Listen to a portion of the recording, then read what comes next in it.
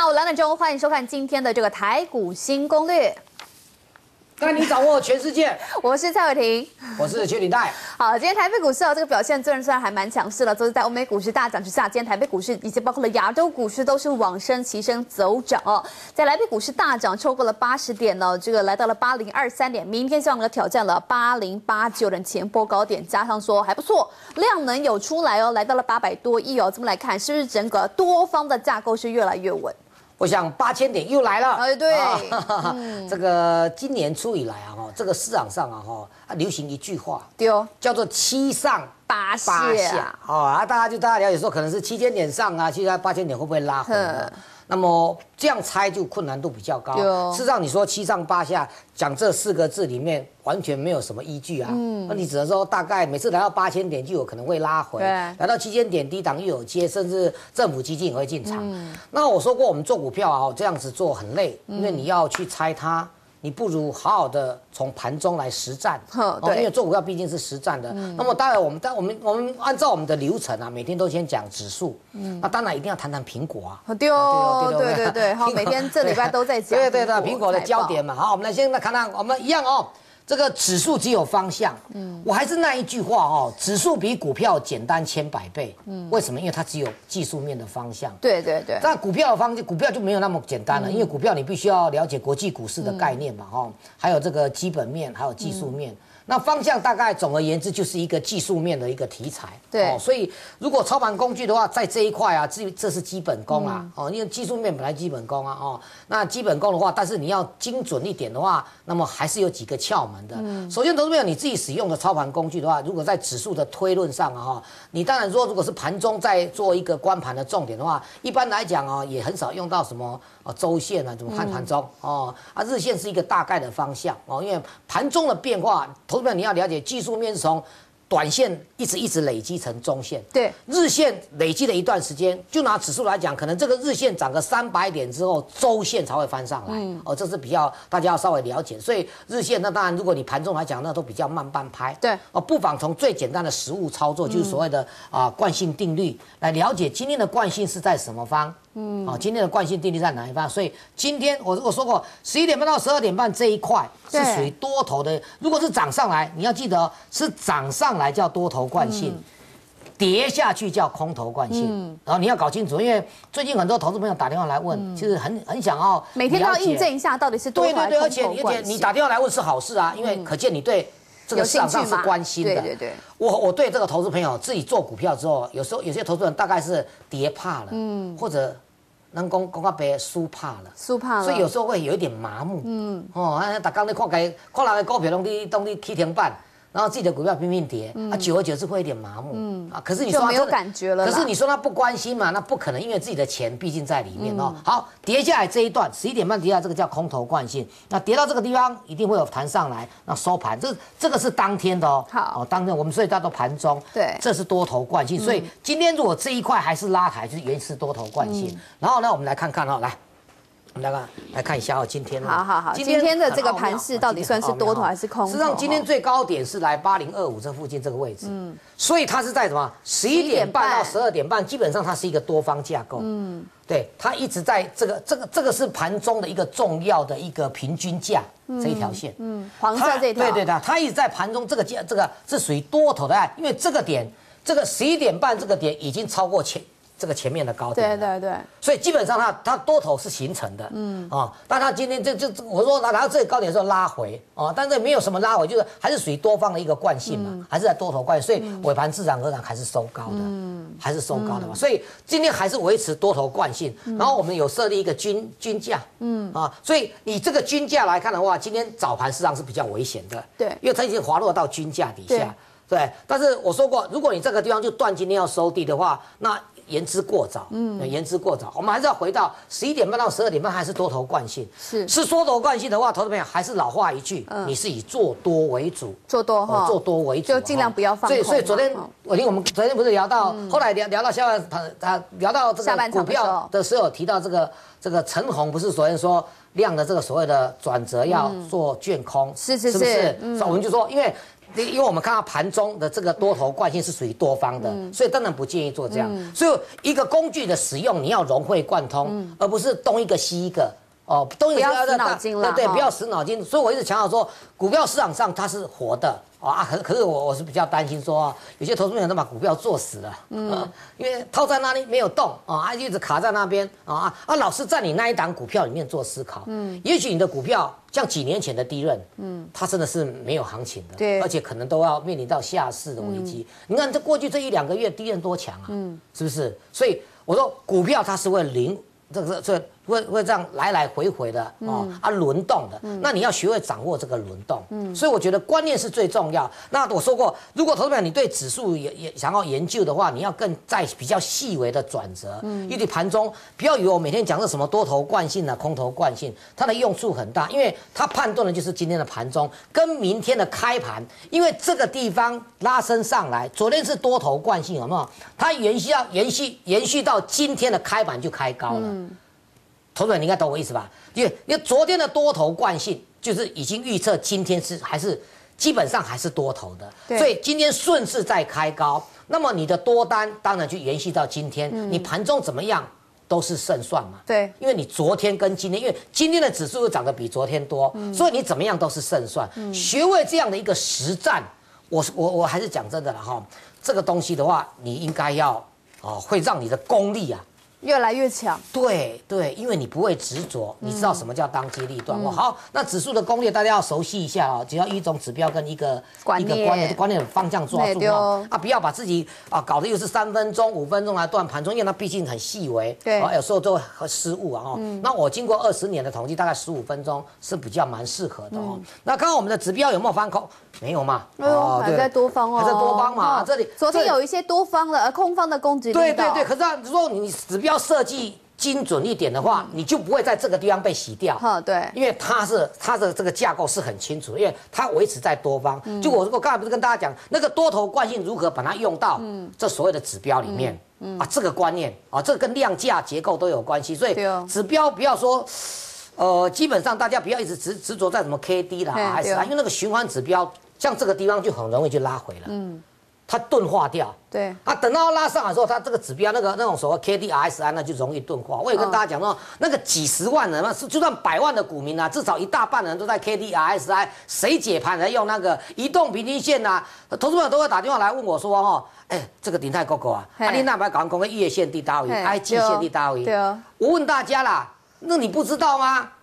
不是说你不要来问这个啦，我也一定会跟你回答啦。只不过我觉得哈，那个一加一等于二这种东西就不要问了啦。嗯，你那个很简单，是公开公开化的东西，不容易让你赚到钱。嗯，这是这是一定的。对哦，所以指标应用，我说几上百万人在用那些指标，我们这个才五六百人在用的话，准确度特别高。你看这个地方就差多少了。嗯，你不要以为这个这这个虽然二三十点，可是你不容容易被洗掉，你还没有勇气再进来。这是一个这个心理作用，所以你看这个指标，指标的好处是你最这个地方是白点，这个地方胜负不大啊。那这个地方就哎，这个地方是接近两百点，甚至快要三百了。嗯啊，所以这个架构的话，让你很稳中在求胜。嗯，好，稳中求胜也不会被洗掉。嗯，这个洗掉就在那个指标的重要的关键点没有设计好。对。我还是那一句话，没有设计好就会有这种失误。啊，所以那个指标就是考验你的人性。啊。那一些你常用的指标，有些投资朋友说我们 K D 指标啦、S I 啦、M A C D，我们改改参数就来用。啊，这个是错的，因为菜刀究竟是菜刀，就算是削铁如泥的菜刀，你也没有办办法跟那个那个水舞端那种飞弹比吧，对不对？你只把菜刀改一改而已呀。啊，错的不好用的东西就是不好用啊！我觉得这是我们在指数上这简单跟大家提到了哈。那我们每天都是要讲股票，对，还要讲哈，一千四百档都想要给他全部讲讲讲过一遍，这样。对啦，对的。我们今天看一下，今天有涨停板的这个三四八一的群创啊。好，对群创哦，群创的话，你看看今天的日线哦，这个日线，我们来看一下它的这整体的一个架构好了哦。实际上群创很平稳哦。对。那群创我说过，群创这如果你做美国股，其实我们的台北股市都是慢半拍啦。嗯。哦，我这一两天这因为今天我们没有准备奇景光电，嗯哦，奇景光是有做一点小头部，嗯，所以群创也拉回。最主要你要注意到那个康宁啊，嗯，在美国那个你把那个技术面拿出来看的话，几乎跟群创有达一模一样。哦，也是做面板的是做面板的康康宁哦。那我们来看看，我们就单单从指标来做的话，你也可以可以自己省事很多。之前群创曾经翻空过一次嘛，对不对？对对对对对。然后我这个是这个是周线。这是周线的角度，所以周线它还是很平稳的。对对对。啊，对你以日线来讲的话，我们再回到日线来讲的话，群创它的它的格局就很清楚了。一段一段的做，投资者你不用觉得很奇怪，一段一段的做哦，一段的做，你该该跑的时候跑一趟，跑丢，该跑的时候跑一趟，该进场的那关键点就在这个地方。投资者会比较疑虑的，我觉得我们既然在使用工具的话，我要想办法让投资朋友比较了解它的概况。为什么它会横向整理？感觉在洗盘呢？对，它就是在洗盘。那为什么你你它洗盘的架构呢？实际上这一根到底是对是错的话呢，很容易了解。取景光电还在走跌，嗯，所以我对这一个大方面就比较保守一点。哦。虽然是呈现了多方，但是奇景光电在还在走跌，即使昨天美股大涨，奇景光电还跌两趴嘞，对不对？但是康宁昨天小涨，嗯，它就刚好冲过来了。对，所以我我们我们要延续这样一个一套的讲法，是说，同志们，我要跟大家讲说哦，你如果如果你有这样的工具的话，你最大的困扰就是说输赢不大。对。哦，因为因为因为它的停损停利点指标设计精湛一点，你在没有那个停损点是三成的啦，要吓死叫死人啦，没有那种的，停了三八五趴啊。接下来呢，因为我们要跟大家讲一个观念，说投资们不要以为一个操盘的一个技术面，投资们你可以告诉我吗？你用 K D 指标，用移动平均线来选股吗？嗯，大概不可能。嗯，你只是一厢情愿的，为什么？因为站上。移动平均线，不管是月线啊好，或者这个技术指标 K D 指标在底下交叉往上叫做黄金交叉，对对对，同一个时间点，那个时间点出现交叉的可能有五百档，嗯，可能有一千档，对啊，那一千档要怎么找什么股票？什么都都以前那种那种指标叫红买绿卖吗？红你就买，都花了，红你就买，绿你就卖，对不对？那一大早是红的，会不会过了中午就绿了？嗯，那你的你的脸怎么样？也绿了，也绿了，对不对？所以。所以我说过啊，投资们，你技术面只是辅佐的。我我一直强调，技术面只是三分之一。对，好。如果你用三分之一来选股的话，你的问、你的困、你的问题的困扰会很大。昨天我就说台股也要三合一嘛，对对，三合一，三合一。所以你用技术面来选股的话，你选不到好股。嗯。所以你的你的盲点，所以你花了那么多时间，很多同学这边我知道都去学技术面。真的，还画线这样。画线啊，然后那这 A 技技术面讲课啊，就是花很多钱去学技术面。其实你只不过学，你就算学成功了。技术面的差到三分之一，你也只有三分之一而已啊！你连五成的机会都不到啊！对，对不对？那你如果进阶到能够消息面跟基本面、题材面的话，这就是为什么。我说实在的，你看那些投信法人啊，嗯，哦，他们在研究技术面都很简单，对，就是美国股市看移动平均线一百日、两百日，嗯，因为他们是中线、中波段的，对对对，都都是这。可是如果你进进去那法投信法人那边呢，你盈利要看好讲的啦，是，因为他们要用这个这个比较有的英文程度的啊，MBA 有经济学的基研究基础的，你才能够很清楚了解国际股市的脉动。对，但这一块我说实在。但看我们这个节目，投资朋友大概散户也有啦，哦，散户也大概蛮多的啦，哦，那你这一块可能是投资朋友你最缺乏的啦，哈。好，我们来看一档股票，所以我们今天要花点时间来讲一些讲个股上面的这个多空变化。哎，对，我要看跟大家讲这个，好，好，我们来看这档股票，它的名字叫做精华。好，今天又有谁的眼镜又是碎了一地吗？是没有啦，又跌破了外资眼镜，是没有跌破外资眼镜啦。不过我还是要跟大家讲说，哈，这个。这里啊，台北股市现在面临到一个很重要的一个关键点，它叫做结构的转换。是。那么美国也面临到五月初会不会来到每一年的第一个高点？嗯。呃，这是因为五月初也快到了。对。哦。那第第二个呢？苹果。嗯。哦，苹果财报公布。嗯。那苹果今天财报公布是很有趣的哦。嗯。苹果五点公布财报。嗯。一公布之后涨一点六趴。嗯。一一路拉拉到七点，今天早上七点半的时候涨到了五点九趴，最高。那你现在看苹果的盘哦，反而翻黑跌了零点五趴哦，所以我说这个这样的一个消息面哦，你的你的操盘容软体大概做不到，当然我们都把它放进里面，对对对，随时随时的追踪，大家待会就看到了。但是我必须要那个我们下半场再说，我们上半场提说这里在做结构的转变，所以投资朋友有没有注意到一个东西？今天的。今天的叫什么？精华吗？不，不是精华，不是精华哈。今天的股票当中有一个东西是很特殊的，叫做呃，美 二四零八的，这叫什么？南科哦，南科今天有没有注意到？你看不到什么东西哦，因为它开盘是跳空涨停的，结果一个价打到跌停，嗯，这是第一轮的。我知道这个在五六年前呢，全台湾的投投资朋友最喜欢做低润的，嗯，以前低润很红一阵子，是是是，套牢最多的也是这个，是到了五年前开始，大家都说它是一点像夕阳产业，对对对，所以低润也面临到一些这个财报的问题，对对，欠债的问题，政府要不要救的问题，但今年的低润有点翻身。哦，啊跌这个从，但是拉了半天的话，涨停板到跌停板。我要讲跟大家讲一个观念，说，同学们，你看第一轮，你看今天包括二四七五的华印，嗯，这些特殊的小型股都在涨停板之后打到跌停。哎，是。啊，注意哦，那不是说他们涨不涨的问题啊，我要讲说，涨了一段就会有拉回。他已经告诉你说，结构要准备要做转变了。这个转变的话，我们下半场。好，我们下半场就来。看到这个台北股市里头，刚顶台哥哥特别说，这个似乎有一些结构上面的转变，到底怎么样转？现在这样转算是正确的吗？我们休息一下，台股新攻略马上回来。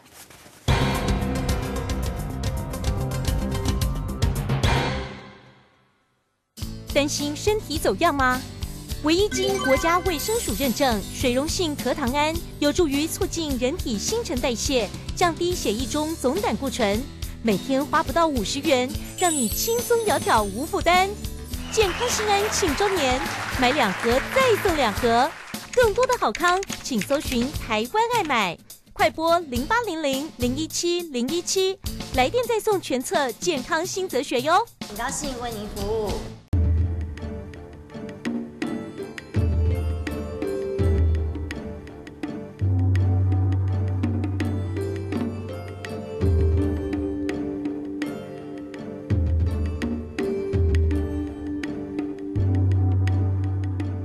三月二三是咱尊敬的妈祖生，祈求慈悲的妈祖保庇咱全家平安，万事旺旺旺。担心身体走样吗？唯一经国家卫生署认证，水溶性核糖胺有助于促进人体新陈代谢，降低血液中总胆固醇。每天花不到五十元，让你轻松窈窕无负担。健康心安庆周年，买两盒再送两盒。更多的好康，请搜寻台湾爱买，快播零八零零零一七零一七，来电再送全册健康新哲学哟。很高兴为您服务。量大师可见为乱世英雄台股大攻略资料，欢迎来电索取，索取专线零八零九零八零五一八零八零九零八零五一。担心身体走样吗？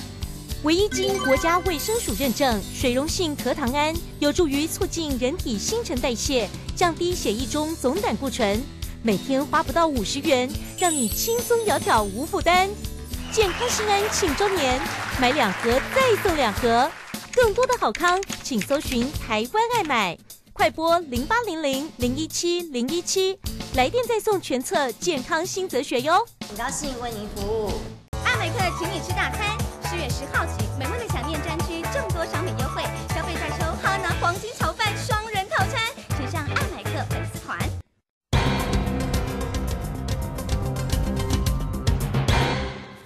欢迎再度回到台股新攻略，带你掌握全世界。好，刚刚调说在台北股市里头，似乎已经是慢慢逐渐形成了一个这个结构上面的这个转换，到底现在怎么转呢？是转的正确吗？我想哦，这个结构转的正确，攸关后市的一个发展。对对对。呃，台积电涨上来有点有点温吞了，嗯哦，然后国际股市美光在跌，我们刚才也跟大家。低润的美光在跌了。在跌了哈。第一轮美光在跌哦，第一轮美光在跌，有点短头部一样，当然你还不能确定它头头部新的，像前两天那个那个飞人半导体紧急刹车又上来了哈。对。但是这个这个我们看到这个目前的结构上啊，当然涨多的股票也会拉回，这是美光的一个走势。那我们刚才一直强调说，要带你掌握全世界的话，就是你要了解国际股市的再怎么走。嗯。那国际股市现在已经有一点，也就是说它里面做一个结构的转换，台北股市能不能顺势结构转换？第一个重要，苹果。发布财报之后的话，它能不能，嗯，就是说，你现在看到亚洲盘它好像不太涨，嗯，那是不是也从此利空出尽的话，这也有可能啊，因为你你没有看到正规盘是不知道到底怎么一回事的哈。那么苹果涨上来的话，会影响什么？红海就要来了，那红海如果来的话，台积电压回那无所谓，一样是机会。有人在，但是你要了解哦，这个重期就会改变电子股的一个整个结构了，哦，所以我说过啊，我们的操作操作股票是要选股。要学会选股。那么选股呢，你要因为你选股对的话，掌握它的轮动，你操作才会灵活。对哦，这都是观念了哈。然后每一档股票掌握它的买点卖点。当然，第这个像我们刚才讲的美光，你的卖点大概不好掌握了，因为那种涨停板到跌停板都，所以这股票大概也没有人做，都是特定的法人在做的哦。外资很喜欢做哦。那所谓学会让自己赚钱出场，哦，这个是最重要的哈。那么我我们说每天要讲这个东西要。你你你，投资朋友，我还是那，你卖嫌鼎泰哥哥啰嗦啦，嘿啊，你卖嫌我啰嗦啦，我不是一定爱讲这啦，你讲你卖嫌我啰嗦，因为这个不讲，我觉得每天都要讲这些东西。观念啊，观念啊，你你我真的很怕你被套牢、被嘎空啦。其实我我不是讲啊，做啰嗦啊那样。不过哦，家有一老，去了鼎泰哥哥，如有一宝，是不是？如有一宝嘛，对不对？每天提示你哦，那掌握全球股市的脉动跟结构的话，这一点可能投资朋友难度会比较高，哦，比较高哈。然后我们要做一些预告。然后转强的一个格局，那操作上尽量简单化。我强调哦，一定要一个指标一个观念，然后持股最好啊，就是一到不要太花心了哈。啊，对，这样子的话操作的话比较顺利一点哦。好，我们来看一下，我们要跟大家讲，像 像我们来看一下这个这个我们每一天跟大家讲的国际股市哈。好，那么盘前的分析，对盘前的分析啊，这个都是在盘前的分析。当然，国际股市里面还是一定要看到，因为我觉得这里因为。因为我是要跟大家讲说，这是这是今天八八点四十五分的时候，这个自动会跳出来，而且会有声音。对，你看到国际股市，这个大家都应该知道，这个也没什么稀奇啊。不过，生意指数昨天再创新高了，哦，又再再创历史新高。哦，所以我说大家一定要了解，可能啊，哦，慢一点，你这个结构来看的话，大概明天后天。生技股应该要动，嗯啊，注意它那个呃那个轮动的一个架构。生技股要动了，为什么？因为第一个，你有注意到说，昨天的精华已经变成第三名了，是对不对？那成孔已经下来了，是，所以就注意这个就是一个领先的一个观念啊。这样筹码观念的话，要注意哦，因为生技股还在创历史新高啊，这个很重要。因为美国股市因为在做结构的转换，所以这一块呢，大家要稍微留意一下啊。那么我们也看到台积电 ADR 已经不怎么样哦，你看我们很有趣，今天早上啊。早上我们看到这一些啊，国际股市这一些啊，事实上你会看到内容啊变化不大。嗯，美国股市虽然大涨，它变化不大。嗯，不是说大家都涨哦，哦，不是，并不是大家都涨啊，只是只是太阳能在涨。嗯，啊，你要注意哦，因为我们这个还要牵涉到合适未来的限电的问题。对，所以太阳能倒是可以稍微开始留意了哦。只要因为国际股市这一块，你看一一直在准备要创新高的当中哦。那么当然我们推荐 ADR 跌这个这个涨涨涨不上去了。当时候在八点四十五分的时候，八点多的时候，我这一大早我。我五六点做的资料，对，你看那时候是台积电是涨五趴，嗯，哦涨五趴，可是到现在，可是我我觉得说我们这个苹果涨五趴了，对，苹果涨五趴了，哦，那可是我觉得我们这一套工具到有一个好处就是说，你来看看我们这个很有趣，我们看我们在在八九点的时候赶快赶快。这样一出来了，好，赶快让那九点多九九点多走，你看，赶快苹果跌了五趴了，原本是涨五趴，后来跌了零点五趴，这个要让投资朋友比较能够清楚了解，对哦，所以所以我觉得大家要留意。那我们赶快来看，我们刚才跟要跟大家讲的，像精华啦，哦，一五六五的精华，好，做隐形眼镜做隐形眼镜的，你看它的技术面很漂亮，哦，一路一路走涨，哦，技术面这个地方是翻多的，对啊，就是一路走涨，哦，一路走涨。我要讲是因为它变成第三名，嗯。六百多块已经胜过成红了，对哦，那是不是透露出一个关键点？所以这几天大家真的要留一点关爱的眼神在生技生技股这一块。那生技股这一块的话，我倒是觉得可以让大家看一下，说哈，像这个这个葡萄网，因为这个 这个很 想到这种啊，它算一个老人商机的。对对对对，你看看它的基本面，所以这也符合我跟大家讲说，我们除了这个消息面、题材面来讲的话，也要知道基本面，嗯，对吧？所以。所以你说不是说我不愿意回答那个那个月线在哪里，季线在哪里？我干嘛黑暗哦？基本的啦，对哦。你你你青菜款了无？是，对啊。阿弟应该可以了解说这些股票的基本面是什么，嗯，对不对？然后呢，了解国际股市的内容是什么，是不是？我觉得才是重点。嗯。那当然讲到这个时候，说我要大家稍微留意一下这一两天的生技股，以筹码跟它的结构形态。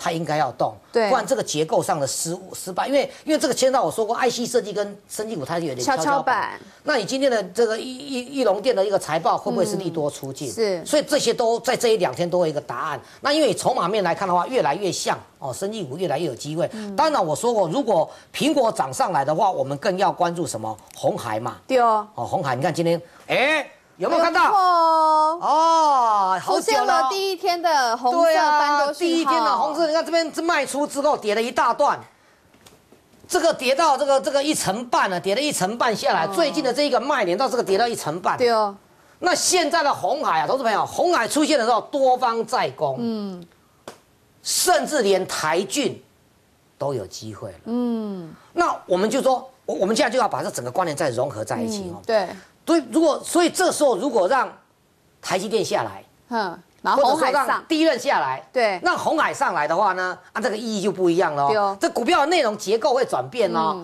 啊，因为这个红海的族群不像 IC 设计第一任族群整个庞大的族群那么大。它红海只有它的红海家族特定的，或者跟苹果概念的一些一些个股联动的嗯所以呢，这里我预告这个洞会有机会动，红海会有机会动，要留意红海哦。那这个这个波段投资搞不好从这里开始点来了。那么红海有机的话，也机会的话，你再把红海之前的技术面来看，哎，有时候红海动的话呢，刚好国际生技指数在 NBI 拉回之后，反而台股的生技股上来了，这是一个结构的一个在做转变。那红海今天是第一根，对不对？好，对好如果今天第一根它没有进场的话，那明天第二根算是 OK 吗？还是说还要再等一下？我认为是 OK 的啦。嗯当然，今天晚上的美股苹果会有一个答案出来了，它是暴跌还是什么？如果还是维持这零点五怕，我倒是觉得这反而是利空出尽。是是是那我们说尊重。尊敬这个指指标来做，那第一个红海第一根哦，那你你的你的你的进场点可能在七十六块附近对哦。哦，那你的停损点可能是七十四块多，这个很合理啊。做股票本来你就要有有进有退价嘛，对，有有防守。但是我必须跟大家讲说，红海已经出现它的翻多了，嗯，更多好的苹果概念股，当它跌了一大段的时候，嗯。投资朋友，你有没有准备好？嘿，对哦，我还是那一句话哦，啊、不会追高呢，你就赢一半了嘛。嗯红海跌的那一段你避过了，当红海或者是一些苹果，包括六二六九的台进，它的机会来的时候，你怎么掌握住它？哦，我觉得这才是要跟大家讲。我今天的重点就是要讲这个。哦，希望投资朋友，有时候我们为什么会强调说要操作要灵活，你买强不要啰嗦啦嘿。我就是要这样不断的重复跟你讲说，股市的让你能够赚到钱的关键是在于什么？是因为你有很好的操作观念，嗯有轮动的观念，有操作灵活的观念。好，更多有关这个苹果概念股这个分析哦，还是请大家持续锁定明天台股新攻略。我是伟霆，我是薛云泰明，天见，拜拜拜。拜。